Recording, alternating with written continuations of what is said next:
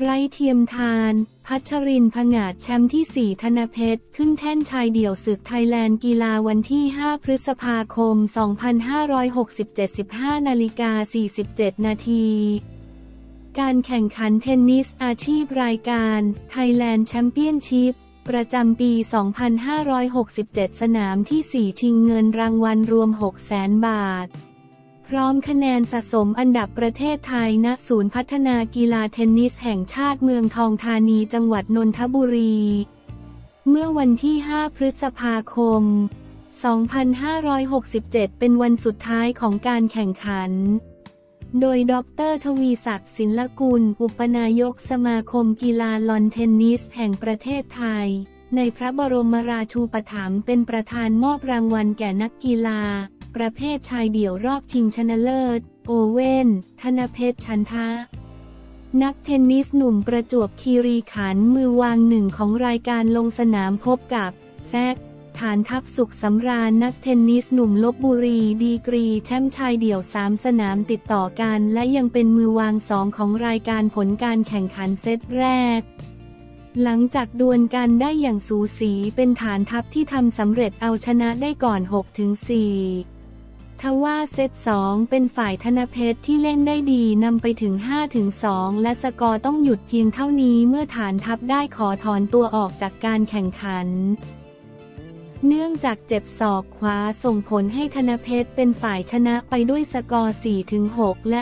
5-2 retired คว้าแชมป์ชายเดี่ยวไปครอง ซึ่งนับเป็นแชมป์ศึกไทยแลนด์สนามแรกของเจ้าตัวในปีนี้ พร้อมรับเงินรางวัลสูงถึง 60,000 บาท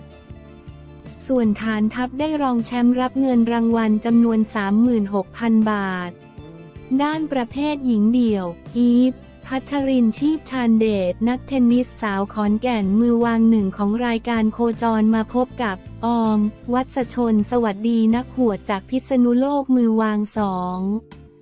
ของรายการอีกครั้งหลังจากเคยชิงชนะเลิศกันมาแล้วสองครั้งในปีนี้ ซึ่งพัชรินเป็นฝ่ายชนะได้ทั้งหมด และผลการแข่งขันในแมตช์นี้หลังจากใช้เวลาดวลแร็กเก็ตกันไปกว่าหนึ่งชั่วโมงยังเป็นพัชริน ที่แข็งแกร่งกว่าจบสกอร์ให้ตัวเองคว้าชัยได้สำเร็จภายใน 2 เซต 6-4 และ 6-2 พัชรินได้ครองแชมป์ประเภทหญิงเดี่ยวศึกไทยแลนด์ สนามที่ 4 พร้อมเพิ่มสถิติให้ตัวเองซึ่งนับเป็นแชมป์หญิงเดี่ยว 4 สนามติดต่อกัน นอกจากนี้ยังได้รับเงินรางวัลจำนวน 36,000 บาท ส่วนวัชชนได้รองแชมป์หญิงเดี่ยวสนามที่ 4 ซึ่งเพิ่มสถิติเป็นรองแชมป์มาแล้ว 3 สนาม สนาม1 3และ 4 ได้รับเงินรางวัลจำนวน 20,000 บาท อันหนึ่งการแข่งขันเทนนิสอาชีพรายการ Thailand Championship ประจำปี 2567 สนามที่ 5 ณ ศูนย์พัฒนากีฬาเทนนิสแห่งชาติเมืองทองธานีจังหวัดนนทบุรี จะแข่งขันระหว่างวันที่ 13-19 พฤษภาคม 2567 จากนั้นสนามที่ 6 ระหว่างวันที่ 20-26 พฤษภาคม และปิดท้ายด้วยสนามที่ 7 ระหว่างวันที่ 27 พฤษภาคมลบ2มิยอ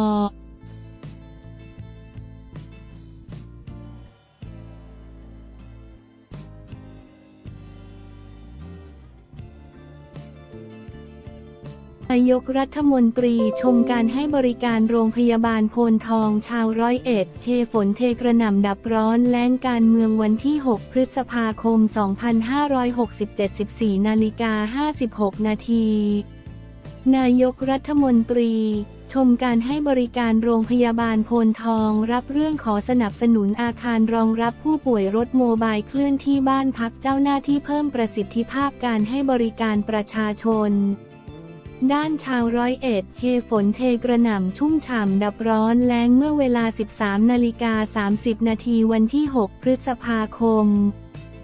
ที่โรงพยาบาลโพนทอง ตำบลสะนกแก้ว อำเภอโพนทอง จังหวัดร้อยเอ็ด นายเศรษฐาทวีสิน นายกรัฐมนตรี พร้อมนายสมศักดิ์เทพสุทิน รัฐมนตรีว่าการกระทรวงสาธารณสุข และคณะติดตามการให้บริการของโรงพยาบาลโพนทอง มีนก กัมปนาตโกวิตังกูลผู้อำนวยการโรงพยาบาลโพนทอง บรรยายสรุปความต้องการของโรงพยาบาล และบุคลากรและเจ้าหน้าที่ทางการแพทย์ต้อนรับ นายแพทย์กำปนาตกล่าวว่านำเสนอความต้องการของโรงพยาบาล ในการของงบประมาณสนับสนุนการสร้างอาคารอุบัติเหตุวินิจฉัย และบำบัดรักษาหก ชั้นอาคารทันตกรรมอาคารคนไข้พิเศษอาคารพักเจ้าหน้าที่ อาคารห้องชุดครอบครัวรวมถึงรถโมบายสำหรับทันตกรรมเคลื่อนที่ เพราะของเดิมมีจำนวนน้อยเนื่องจากนำไปใช้ในภารกิจอื่น นอกจากนั้นต้องการให้รัฐบาลช่วยเหลือบ้านพักบุคลากร เพื่อรองรับแพทย์ที่จะจบกลับเข้ามาทำงานกว่า 30 คน โดยให้ใช้โมเดลในลักษณะคล้ายกับกระทรวงทรัพยากรธรรมชาติและสิ่งแวดล้อม ที่สามารถดึงน้ำบาดาลเข้ามาใช้ในการบริหารจัดการภายในได้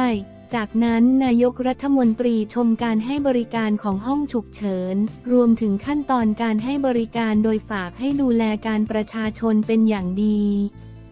ผู้สื่อข่าวรายงานว่าจากนั้นนายกรัฐมนตรี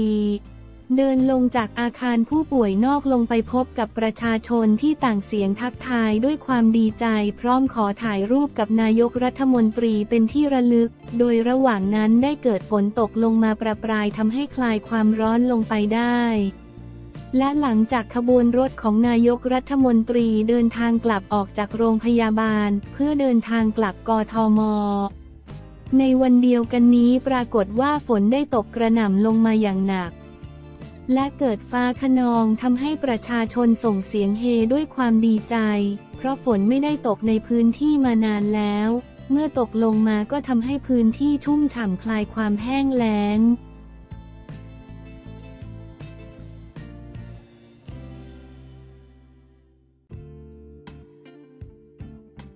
เจ้าสาวไม่ทน อดชุดยกเลิกงานแต่งกลางคันหลังฟังแม่เจ้าบ่าวอวยลูกชายฉ่ำรอบโลกวันที่ 6 พฤษภาคม 2567 12นาฬิกา 6 นาทีเจ็บแต่จบ เจ้าสาวใจเด็ดถอดชุดยกเลิกงานแต่งกลางเวทีทันที หลังฟังแม่เจ้าบ่าวอวยพรลูกชายแบบนี้ทำตะลึงทั้งงาน การแต่งงาน ถือเป็นวันสำคัญของผู้หญิงเกือบทุกคน ที่ต่างใฝ่ฝันว่าอยากจะมีสักครั้งในชีวิต แต่จะเป็นเช่นไร หากแผนทุกอย่างพังไม่เป็นท่า ต้องทิ้งกลางคัน เพราะคำพูดแม่ของคนที่ตัวเองต้องฝากชีวิตไว้ ล่าสุดสำนักข่าวต่างประเทศได้เปิดเผยเรื่องราวที่เกิดขึ้นในงานแต่งงานแห่งหนึ่ง ในมณฑลเจียงซู ประเทศจีน โดยในระหว่างพิธีการบนเวทีแม่เจ้าบ่าวได้กล่าวอวยพรลูกชาย ด้วยการยกย่องความดี ความงามของเขา บอกว่าเขามีความสามารถโดดเด่นเป็นที่รักใคร่ของทุกคนและแต่งงานกับเจ้าสาว โดยที่ไม่ต้องเสียค่าสินสอดแม้แต่แดงเดียว ส่วนสินสอดที่เห็นนั้นเป็นฝ่ายเจ้าสาวที่เตรียมมาเอง เมื่อได้ยิน เช่นนั้นสร้างความไม่พอใจให้เจ้าสาวอย่างมาก เพราะคำพูดของแม่เจ้าบ่าวไม่เพียงแค่ด้อยค่าในตัวเจ้าสาว แต่ยังรวมไปถึงทางครอบครัวของเธอด้วยเมื่อเห็นว่าทางครอบครัวของเจ้าบ่าวมีทัศนคติที่ไม่ดี และไม่ได้รู้ถึงคุณค่าและความทุ่มเทของเธอและครอบครัว ทางเจ้าสาวจึงตัดสินใจยกเลิกงานแต่งงานทันที อย่างไรก็ดีตามรายงานได้ระบุว่าเหตุผลที่เจ้าสาวไม่เรียกค่าสินสอดจากทางฝ่ายเจ้าบ่าว เป็นเพราะเธอคำนึงถึงสถานะทางการเงินของครอบครัวเจ้าบ่าว แต่ทางแม่เจ้าบ่าวกลับพูดอีกแบบ ราวกับว่าเป็นความภาคภูมิใจของพวกเขา ทางเจ้าสาวจึงตัดสินใจล้มเลิกการแต่งงาน เพื่อปกป้องศักดิ์ศรีของเธอและครอบครัว งานนี้ไม่เพียงแต่ทำให้ทั้งสองครอบครัวตกอยู่ในสถานการณ์ที่น่าอับอาย แต่ยังทำให้เกิดการถกเถียงกันในโลกโซเชียล เกี่ยวกับวัฒนธรรมการแต่งงานและแนวคิดเรื่องสินสอดเจ้าสาว อีกทั้งชาวเน็ตส่วนใหญ่สนับสนุนการตัดสินใจของเจ้าสาว ที่เลือกปกป้องสิทธิของตัวเองอย่างกล้าหาญขณะที่คนอื่นๆ ประนามแม่ของเจ้าบ่าวที่ใช้คำพูดที่ไม่เหมาะสม และด้อยค่าฝ่ายเจ้าสาว